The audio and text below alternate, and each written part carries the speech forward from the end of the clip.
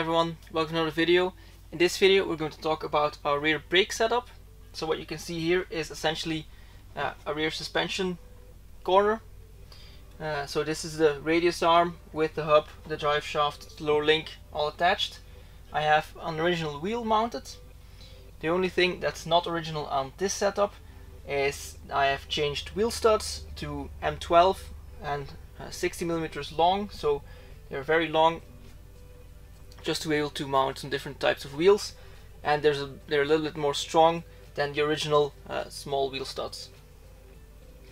As you might know I'm running a Wilwood front disc brake setup made by Rally Design in the UK.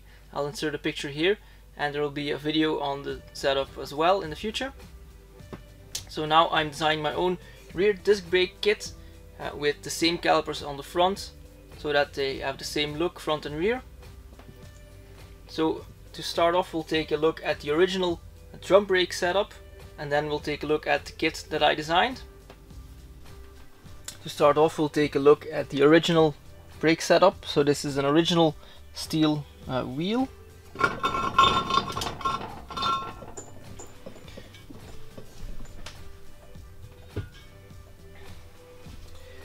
These are uh, drums, so these are new drums, but they are completely original style. So cast iron drum, quite heavy. So now we can see the internals of the brake drum. So these brake shoes have the, the original size, original shape. However, the braking compound that's on here is not original. This is a, a competition lined brake shoe. This will mean that it has uh, it's less susceptible to fade uh, it will be better to use on a track day, on a rally for uh, competition use. Uh, what's also missing on here is the lock washer, but I've taken it off because I'm removing the hub uh, all the time. So this has a mechanical type of parking brake, like this, and an hydraulic slave cylinder with the adjustment on the back.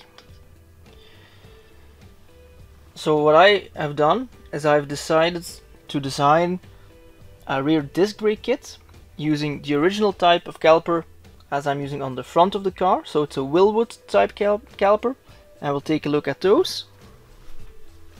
So this is essentially a rear disc brake kit. Um, the caliper that I'm using is a Wilwood Powerlite. So this weighs about a kilogram. It's half of the weight of an original front caliper. Um, these are off the shelf available from Wilwood. If you look closely you can see that the right and the left side are different. That's because when I was designing the kit I essentially stumbled on two options. So we have two different types of kit. Both are the Powerlite caliper, however, this caliper has mechanical levers for a parking brake. And the discs are different as well. This disc is 240 millimeters. This disc is 260 millimeters. The brackets that I designed are essentially a galvanized steel bracket that bolts onto the rear upright. Bolted to this is an aluminium mount because these calipers are radially mounted which uses these bolts and those spacers to mount to this mount then the brake caliper is essentially completely aligned on the correct place. So we're going to mount both kits to our rear suspension corner. Then I can show you the difference between all of the kits. So essentially what you do is you remove the rear back plate with the drum setup.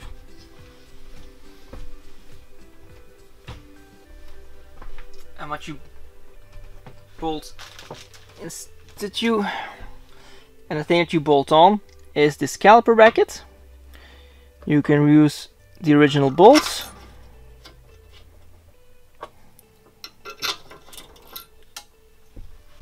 So once the bracket is bolted to the rear upright.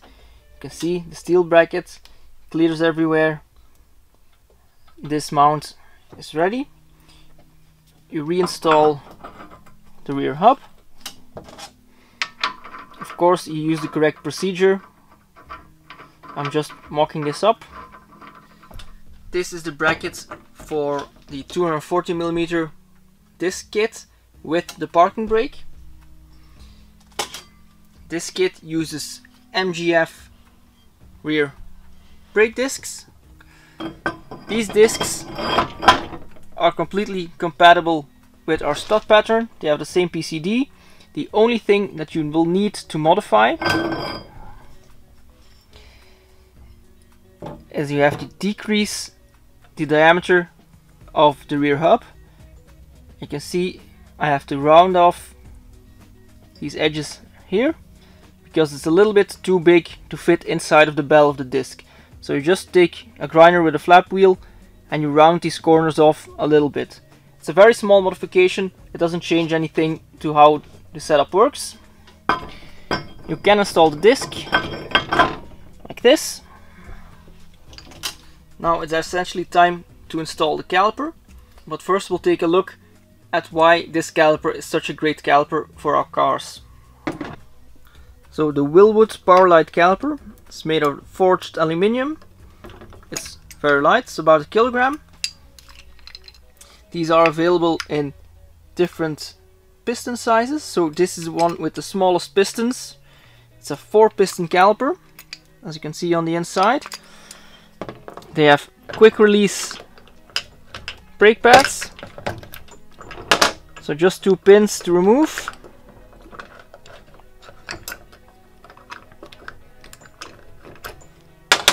You can remove the pads.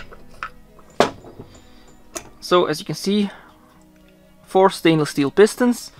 There's only one downside to these calipers and that's they don't have dust shields.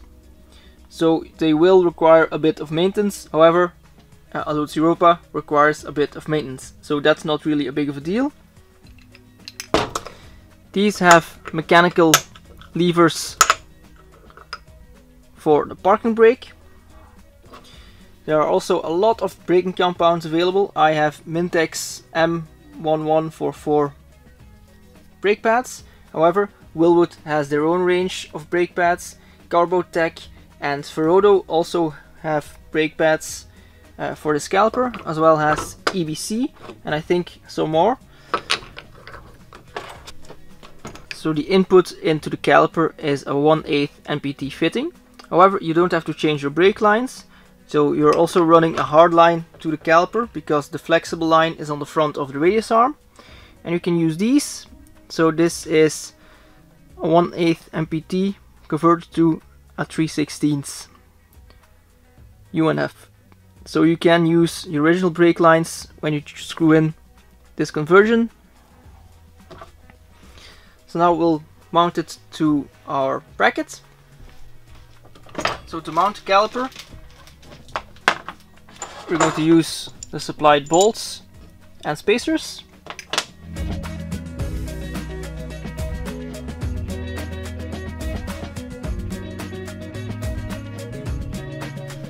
and this is how everything fits together. So we have a 240 millimeter disc, which is off the shelf from MG.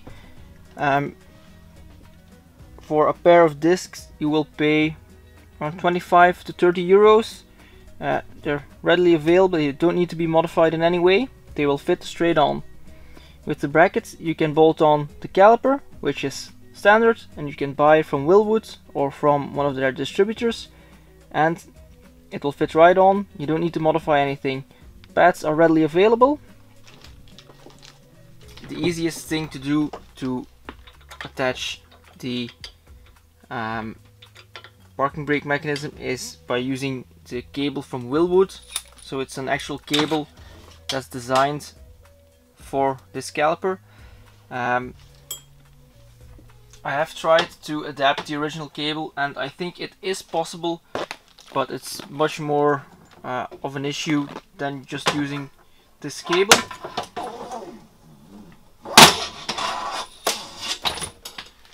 So what you need to do is the spring that comes with the kit, you thread it over the cable, you hook this up on the top. And then it slides right into the back of the bracket. So it's completely engaged. Uh, it can't go away. Those two levers will force the brake pads onto the disc.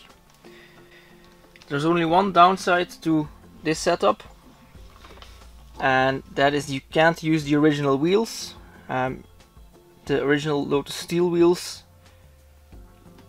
have a too small of an inner, inner diameter and I do think that the brand Lotus wheels are the same. However you can still run 13 inch wheels as I will demonstrate. This is a 13 inch revolution wheel. It has an internal diameter of 318 millimeters. So this is what I will be running I replaced the smaller brackets with the bigger caliper mount just to accommodate the larger uh, disc diameter. This is a 260 millimeter disc from a Honda Accord or Prelude which needs a very small modification before we can use it which I will show you in a minute. So this is essentially the same caliper as on the other kit, however this one has no parking brake mechanism. So again, bolts and spacers. And again, once everything is mounted, the caliper is completely centered on the disc. Uh, on this kit I had to go to quite a few uh, different discs before I found one with enough clearance on the bell for the caliper. And again, this kit, you are able to use a 13 inch wheel, however, not the original one, so you will need a wheel with at least 320 millimeter internal diameter.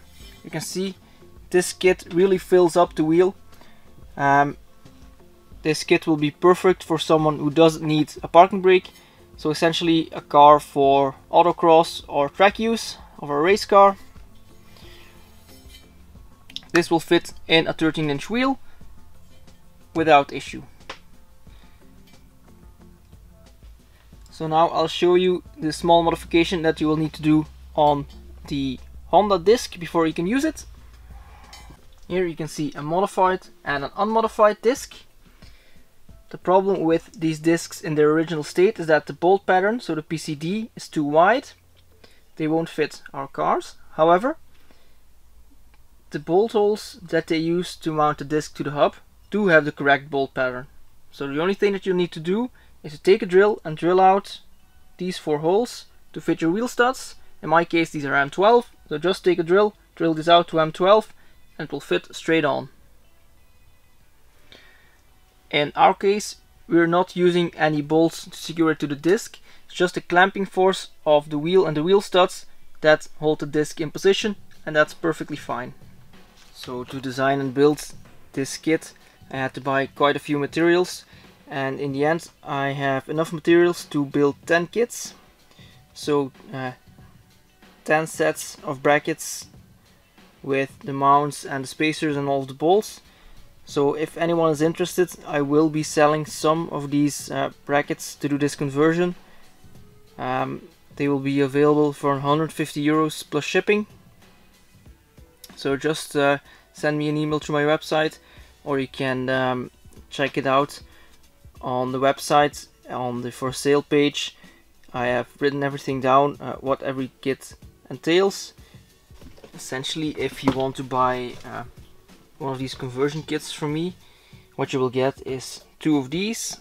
So two galvanized steel brackets with an aluminium uh, mount already bolted and Loctite to this, threaded and set up for your brake kit. So either the 240 millimeter kit or the 260 millimeter kit.